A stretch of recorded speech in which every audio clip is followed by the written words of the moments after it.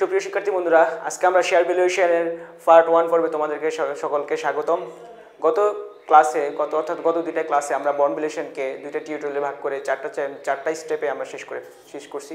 আজকে আমরা share valuation নিয়ে আলোচনা করব। তো শুরুতে আমরা জানব শেয়ার কি। শেয়ার হলো কোম্পানির অনুমোদিত মূলধনকে একটি ক্ষুদ্র ক্ষুদ্র অংশে বিভক্ত করা, আর এই প্রত্যেকটা অংশকে এক একটা শেয়ার বলে। তো আমরা বুঝলাম শেয়ার কি? শেয়ার হলো আসলে মূলধনের একটা ক্ষুদ্র অংশ।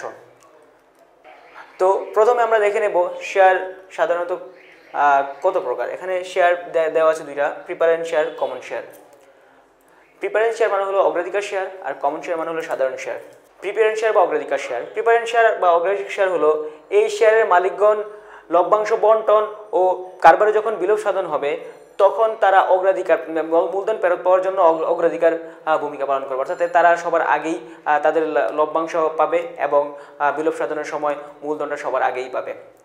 তো আজকে আমরা প্রিপারেন্ট শেয়ারের ভ্যালুয়েশনটা নির্ণয় করব।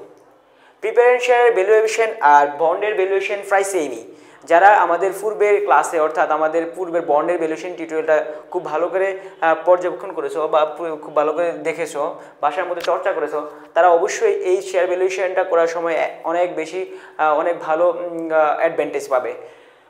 তো প্রথম আমরা দেখব রিডিমেবল প্রিপারেন্ট শেয়ার আর ইরিডিমেবল প্রিপারেন্ট শেয়ার আমরা তখন বন্ড ভ্যালুয়েশনের মধ্যে দেখেছি যে দুইটা শেয়ার ছিল, দুইটা দুইটা বন্ড ছিল। এটা হলো পারপেচুয়াল বন্ড আর এটা হলো নন অর্থাৎ পরিশুদ্ধ ও অপরিশুদ্ধ বন্ড ছিল। এখানেও ঠিক একই অবস্থা পরিশুদ্ধ প্রিপারেন্ট শেয়ার আর হলো অপরিশুদ্ধ প্রিপারেন্ট শেয়ার শিক্ষার্থী বন্ধুরা, আসলে আমরা টাইম ওয়েস্ট না করি আমরা সব প্রথমেই শিখে নেব কীভাবে পরিশুদ্ধ অগ্রাধিকার শেয়ারের মূল্যায়ন করা হয়। অর্থাৎ redeemable preference share valuation redeemable share ভ্যালুয়েশনের সিস্টেমটা হলো ঠিক একইভাবে আমরা যখন রিডিমেবল বন্ডটা করেছিলাম, সেই একই রকম ফর্মুলা সেম ফর্মুলা একটু ডিফারেন্স নাই। শুধু আমরা তখন এখানে ইন্টারেস্ট দেখছিলাম আর এখানে হলো পিডি ঠিক আছে? Valuation of preference share valuation of preference share কী কীভাবে করতে হবে? যখন আমাকে আমার শেয়ারের কারেন্ট প্রাইস আমার কারেন্ট ডিটারমাইন করতে বলবে, তখন আমাকে এই ফর্মুলা ইউজ করতে হবে। তো এই ফর্মুলা ইউজ করতে হলে আমাকে প্রথমে লিখতে হবে পিডি অর্থাৎ পিডিটা আমার বের করে নিতে হবে। পিডিটা বের করে নেওয়ার পরে আমার এখানে সিবিআইএফএ মানে হলো এনইটি যখন আমাদের প্রত্যেকটা বছর সেম সমান হারে আমরা ডিভিডেন্ড পাবো, তখন আমাদের ফিবিআইএফ অর্থাৎ এনইউটির এই ফর্মুলাটা বসবে। তারপরে প্লাস মার্কেট ম্যাচুরিটি ভ্যালুর ফিবিআইএফ অর্থাৎ যেহেতু ম্যাচুরিটি ভ্যালুটা হলো এককালীন দেওয়া হয়, সেহেতু এটার ফিবিআইএফ এটা কোনো এনইউটি না, এককালীনের জন্য এই সূত্রটা ইউজ হবে। তো আমাদের পিডির বর্তমান মূল্য এবং মার্কেট ম্যাচুরিটি ভ্যালুর বর্তমান মূল্য, দুইটার যোগফলই হবে আমাদের ভ্যালুয়েশন অফ রিপারেন্ট শেয়ার তো এবার আমরা দেখব ঠিক এক সেমভাবে কীভাবে আমাদের ফর্মুলাটা আমাদের বন্ডের ভ্যালুয়েশনের মতো বন্ড ভ্যালুয়েশনের মতো হয়। দেখুন একটু ফিডি পিডি এখানে দেওয়া আছে। আমার জাস্ট এখানে ছিল ইন্টারেস্ট এখন হলো PD one minus one by one plus R উপরে এন বাই আর এটা হলো পিভিআইএফ এর ফর্মুলা প্লাস এমবি অর্থাৎ এমবি হলো one MB by one plus R উপরে এন এটাই হলো পরিশুদ্ধ অগ্রাধিকার শেয়ারের মূল্যায়নের প্রথম ফর্মুলা এটা হলো প্রথম ফর্মুলা তো পরিশোধ অগ্রাধিকার শেয়ারের আমরা প্রথম সূত্রটা, প্রথম ফর্মুলাটা আমরা এইভাবে করতে পারব। অর্থাৎ যখন পিডি প্রত্যেক বছর সমান হারে পাবো, তখন আমাদের এই ফর্মুলা এই ফর্মুলা আমরা দেখাবো। আর যখন আমরা যখন আমাদের পিডি প্রত্যেক বছর সমান হারে পাবো না, তখন আমাদের এই ফর্মুলা দেখাইতে হবে। ডিভিডেন্ড ওয়ান ডিভিডেন্ড ওয়ান মানে হলো ডিভিডেন্ড ডিভিডেন্ডের প্রথম বছরের বর্তমান মূল্য ডিভিডেন্ড টু মানে ডিভিডেন্ডের দ্বিতীয় বছরের বর্তমান মূল্য। তারপরে এইভাবে করতে করতে আমাদের যতক্ষণ পর্যন্ত আমরা, আমাদের প্রশ্নে উল্লেখ থাকবে, ততক্ষণ পর্যন্ত আমরা করতে থাকব।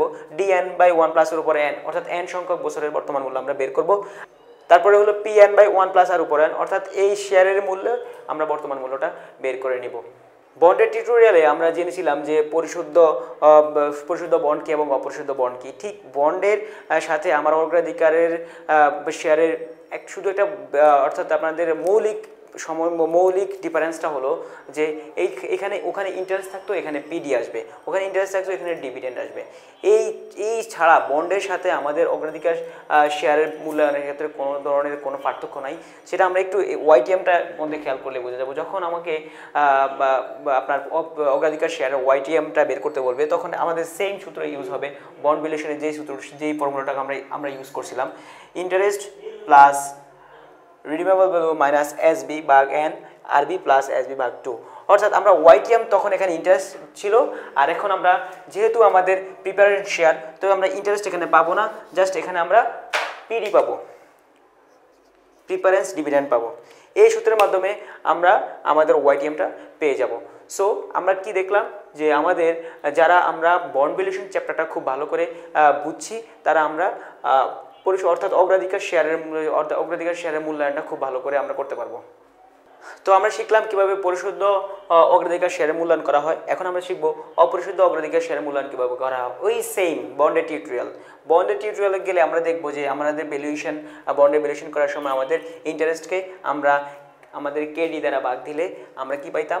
আমরা বন্ডের ভ্যালুয়েশনটা পাইতাম। ঠিক এখানে সেম জিনিস, যেহেতু এখানে ইন্টারেস্ট দেওয়া হয় না, দেওয়া হয় ডিভিডেন্ট সো আমাদের পিডি পিডিকে আমরা কেপি কেপি দ্বারা অর্থাৎ আপনার প্রিপারেন্ট শেয়ারের কষ্ট কষ্ট প্রিপারেন্ট শেয়ারকে দ্বারা ভাগ দিলে আমরা পেয়ে যাব আমাদের কাঙ্ক্ষিত ভ্যালুয়েশন সুপ্রিয় শিক্ষার্থীবৃন্দ তো আজকের মতো আমাদের ফিনান্সের শেয়ার ভ্যালুয়েশনের পার্ট ওয়ান পর্ব এখানে শেষ করব। আহ, তা তবে তার আগে আমরা তোমাদেরকে বলব যে আমাদের চ্যানেলের যে ভিডিওগুলো আছে সেগুলো যদি তোমাদেরকে অবশ্যই ভালো লাগে থাকে তাহলে আমাদের চ্যানেলকে অবশ্যই অবশ্যই সাবস্ক্রাইব করবা এবং লাইক দিতে অবশ্যই বলবা না। আর পাশের বেলটা বেল চিহ্নটা নোটিফিকেশন বারে তোমরা ক্লিক করবা যাতে তোমাদের নতুন নতুন ভিডিও আপলোড হলে তোমাদের ওখানে নোটিফিকেশন চলে যায়। তো আল্লাহ হাফেজ আজকের মতো এখানেই শেষ।